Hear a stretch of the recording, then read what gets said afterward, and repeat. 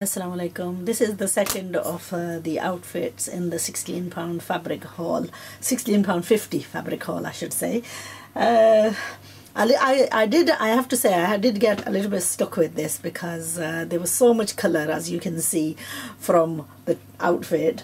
I, I fell in love with the fabric on this, not the actual pattern. Uh, so when you consider uh, take into consideration the pattern of uh, the fabric you're sort of like stuck on ideas on what you can do because it's so fussy mm, uh, designing sort of goes out of the window really you, all you can do is sew it plain. But then even when you sew it plain it had this random white stripe on the one side that I was totally totally stuck with.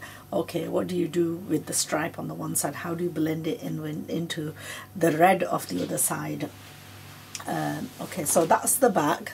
The back is full floral which is perfectly fine but then it, it was the front uh, and actually it was the front which was this uh, bricky type of um, uh, pavement type pattern. I like the stones on a pavement it is and then this one is uh, like your prisoner stripes it reminded you of. But I'm too critical of my own fabrics. Anyway, to bring a little bit color into this, what I decided to do was put a piece of, cut up some lace and put it in a straight row on one of the red, uh, one of the white stripes, just to give it a little bit of the red. And uh, then what I did was the lace that I cut off from the side of this, it's on like a very fine meshy type of a net. And I've put a full band of that going all the way down the front uh, which uh, to the naked eye that has given it some beautiful beautiful mm, sort of like a combo. Uh, and then the leftover lace I decided to do a galatine neck and uh, um, attach this on to the band of the neckline. Now I'll take some close-up photos of this and I'll put them on because you can't really see too well uh, with um, from the camera. Uh, overall, it's come out very, very nice, I have to say. I wasn't too thrilled. It's in the same shape and the same cut as our first dress. So we're going to keep to the same cut, but they're going to be just variations of uh, the designs slightly here and there, depending on what I can find to do with them. Anyway, so Alhamdulillah, that's, uh, I think I'm doing pretty well, having managed to do uh, three outfits from a fabric that is you know a bargain. It's going to be a bargain uh, sort of like a, wardrobe full wardrobe.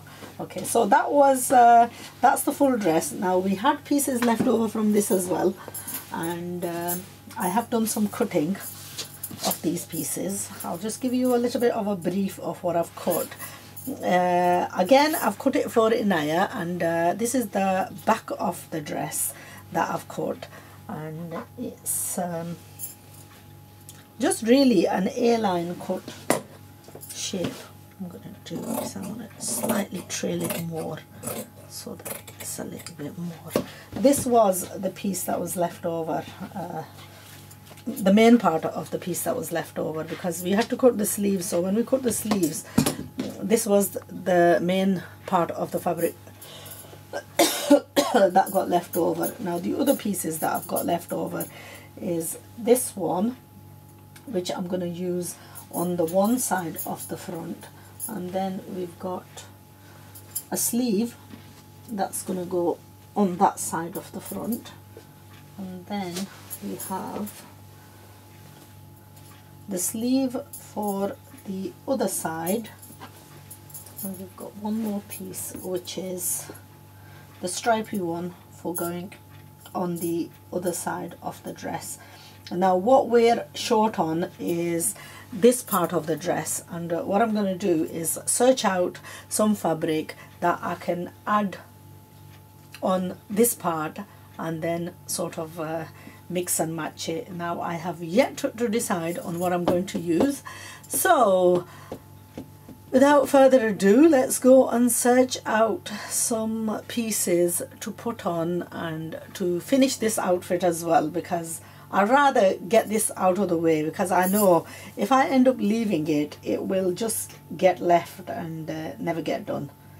so whilst we're on a ball we might as well get make the most of it and get another outfit done and that way we can have